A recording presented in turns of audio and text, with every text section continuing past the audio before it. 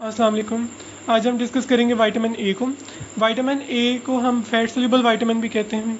अब सबसे पहले हम देखेंगे वाइटामर्स क्या होते हैं। वाइटामर्स वो ऑर्गेनिक कंपाउंड्स होते हैं जो एक वाइटामिन की एक्टिविटी को इन्हांस करते हैं।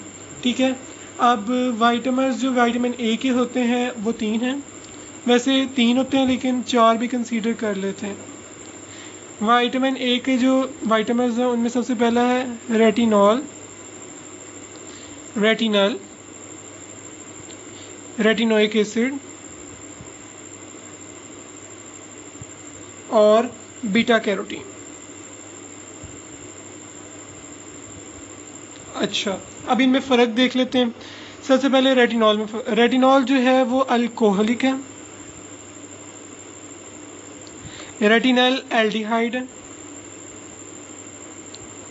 और रेटिनोइक एसिड जो है, ये एक एसिडिक फॉर्म है।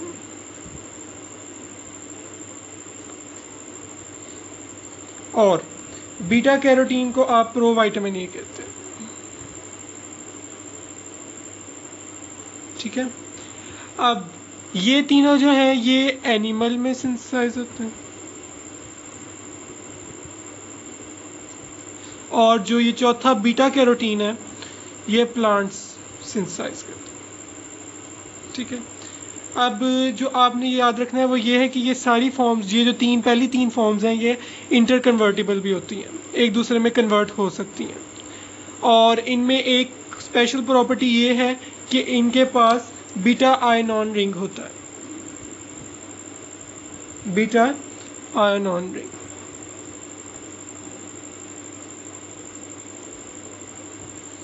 ठीक है। अब एक और बात यह है कि जब आप बीटा कैरोटीन को क्लीव करते हैं। इंटेस्टाइन में जैसे ये एंटर होता है तो इसकी क्लीवेज होती है और क्लीवेज होने के बाद ये दो मोल्स ऑफ़ रेटिनॉल में कन्वर्ट हो जाते हैं। रेटिनल में, सॉरी। ठीक है? अब हम देखते हैं वाइटामिन की एब्जॉर्प्शन ट्रांसपोर्ट और मोबिलाइजेशन ठीक है? अब हम वाइटामिन ए की जो है एब्जॉर्प्शन मोबिलाइजेशन वगैरह को एक डायग्राम के ज़रिए समझेंगे कि हम डाइट में वाइटामिन ए ले रहे हैं।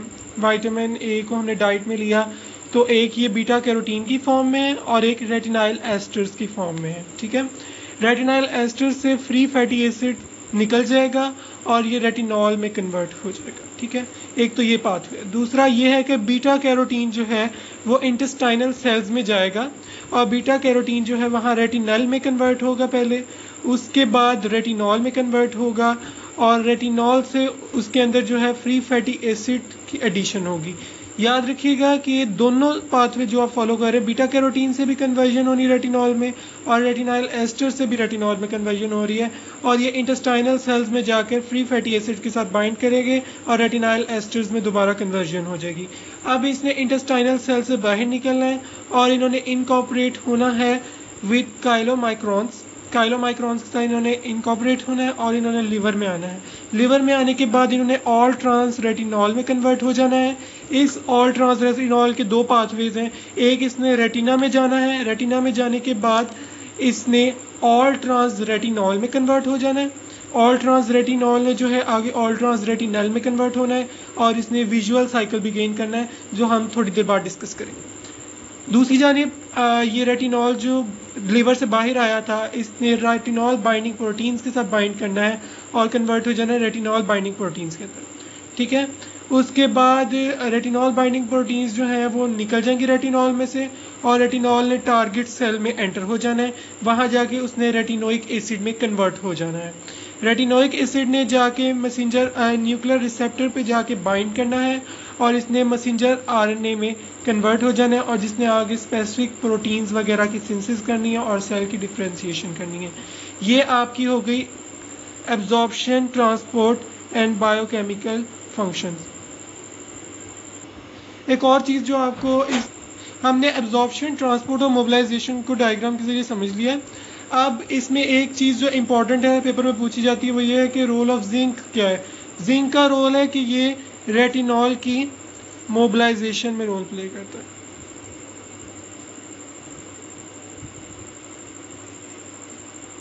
ठीक है? अब आते हैं हम biochemical functions of vitamin A पर।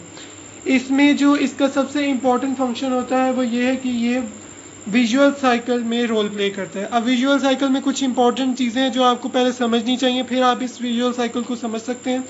वो ये है कि रॉड्स और कोन्स क्या होते हैं। रॉड्स होते हैं, जो सेंसिटिव होते हैं, डीम लाइट के लिए।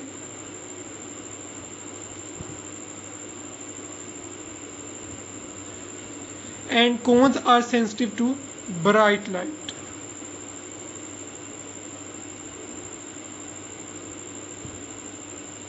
ठीक हो गया।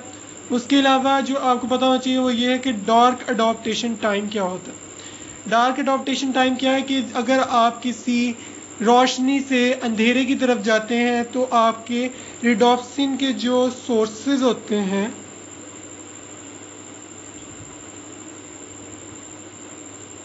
वो डिप्लीट कर जाते हैं। और विजन आपकी जो है वो थोड़ी देर के लिए रुक जाती मतलब आपको अंधेरा सा छा जाता है आपकी। लेकिन ये थोड़े से टाइम के लिए होता है और उसके बाद आपके जो रिडोप्सिन के सोर्सेज होते हैं, वो दोबारा से बहाल हो जाते हैं और जो विजन है वो आपकी दोबारा वापस आ जाती है। इस तरह की जो टाइम है, इसको आप डार्क अडोप्टेशन टाइम कहते हैं, ठीक है? अब रिडोप्सिन का विजुअल साइकिल में क्या रोल है, वो क्या रोल प्ले करता है, ये हम है। ये दो चीज़ों पर मुश्तमिल होता है ऑप्सिन पर और 11 सिस रेटिनॉल पर। 11 सिस रेटिनॉल ठीक हो गया? ये दो चीज़ों पे ये मुश्तमिल होता है। जब आप इसका एक्सपोजर करवाते हैं लाइट में, ये जो अब हम देखेंगे role of rhodopsin in visual cycle इसमें यह है कि हमने कहा था कि रिडोप्सिन जो है वो मुश्तमिल होता है 11 सिस रेटिनॉल और ऑप्सिन पर। ठीक है? तो जैसे ही आप लाइट के ऊपर एक्सपोजर डालते हैं तो जो आपका 11 सिस रेटिनॉल है, वो कन्वर्ट हो जाता है 11 ट्रांस रेटिनॉल में, ठीक है? और थोड़ी देर बाद जो है, ये जो आपका 11 ट्रांस रेटिनॉल है, ये कन्वर्ट हो जाएगा आइजोमराइज हो जाएगा in back into 11 cis retinol में, ठीक है? लेकिन ये जो आइजोमराइजेशन है 11 ऑल ट्रांस रेटिनॉल से 11 सिस रेटिनॉल के अंदर ये इनकम्प्लीट है। तो ये दूसरा पाथवे फॉलो करते हैं, जिसको आप कहते हैं 11 सिस रेटिनॉल में कन्वर्जन होगी। उसके बाद वो कन्वर्ट होगा 11 सिस रेटिन 11 सिस रेटिनॉल ने कन्वर्ट होना 11 सिस रेटिनल में, और फिर दोबारा जो है ये विजुअल साइकिल अपना बिगेन करेगा। ठीक है? अब हम देखते हैं ब्लीचिंग ऑफ़ रिडोप्सिन से क्या मुराद है। इससे मुराद ये है कि जब आप लाइट में आते हैं तो जो कलर ऑफ़ रिडोप्सिन है, वो रेड से येलो में चेंज होता है। ठीक है? इसको आप ब्लीचिंग ऑफ़ रिडोप्सिन कहते हैं।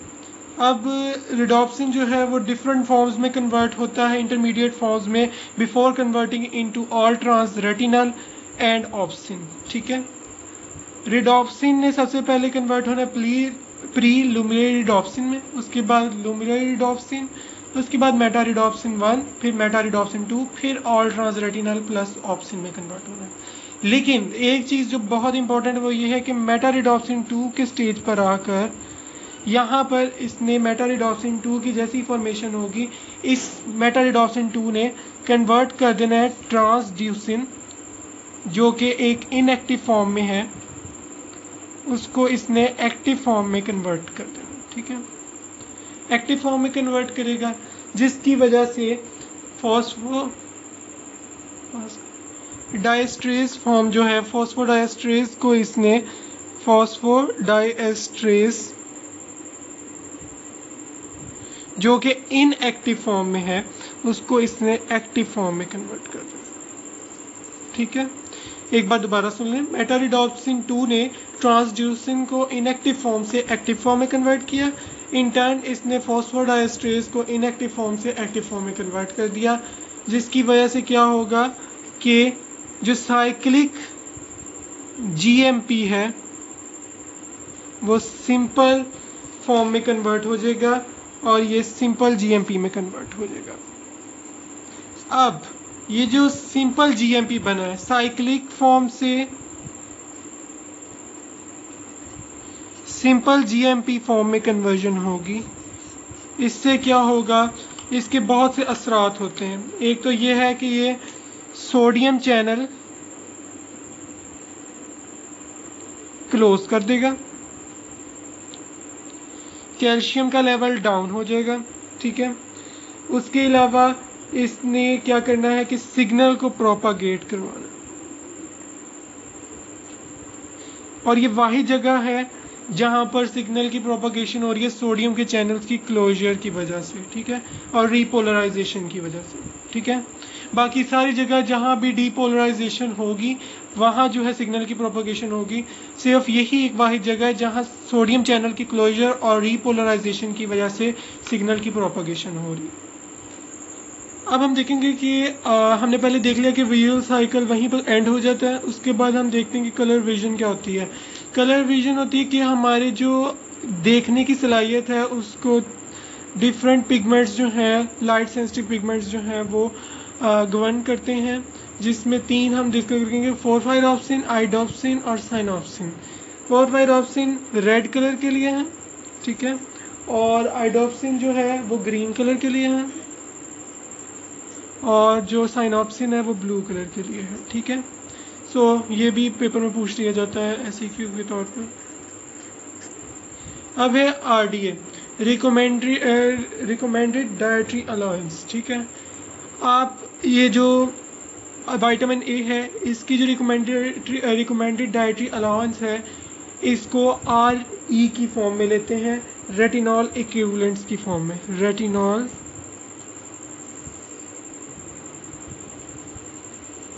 बाकी जितने भी वाइटामिन हैं, उनकी हम मिलीग्राम की फॉर्म में लेते हैं बिकॉज़ यही स्टैंडर्ड के तौर पे यूज़ किया जाता है, ठीक है?